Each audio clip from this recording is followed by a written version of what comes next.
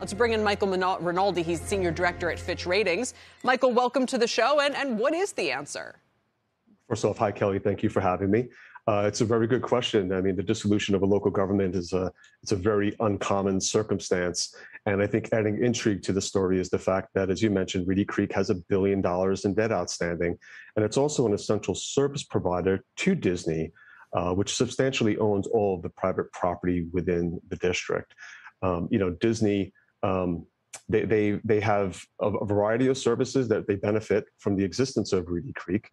And also, you know, when you look at the the extension of the debt, um, the state hasn't really left any path in terms of who will assume the obligations.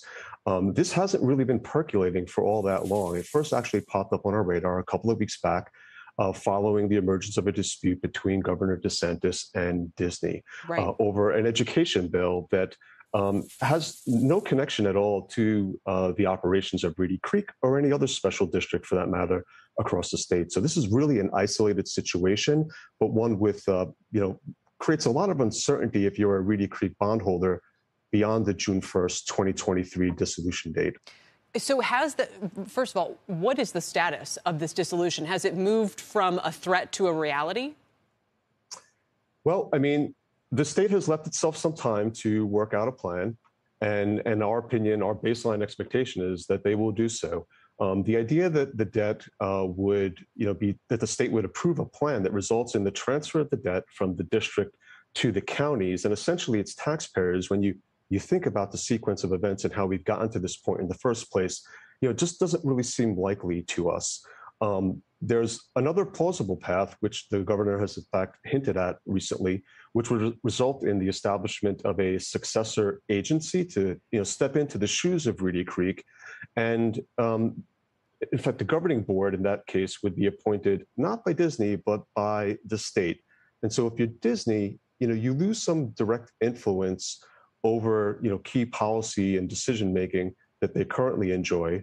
Um, if that situation plays out, and if you're a bondholder, the question you have is will a successor agency say have the same uh, powers and control that the district does today? Right. And will they be able to generate the same property tax and utility revenues that they use to pay off the debt?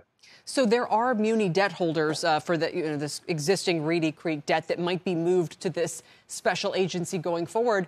Uh, so is that going to make it uh, a better investment in the future, a worse investment? And what are the spillover effects for other muni debt holders? Well, as I said at the start, I think this is really an isolated incident. We don't view this as a precursor to the state becoming more engaged and involved in local government affairs. Um, in terms of, you know, is it a better investment or not? I think, you know, it depends on what the state's next step is.